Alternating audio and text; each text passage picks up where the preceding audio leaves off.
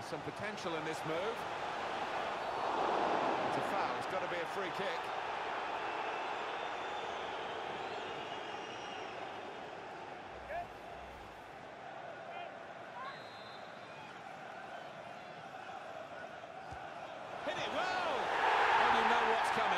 But stopping it is an entirely different matter.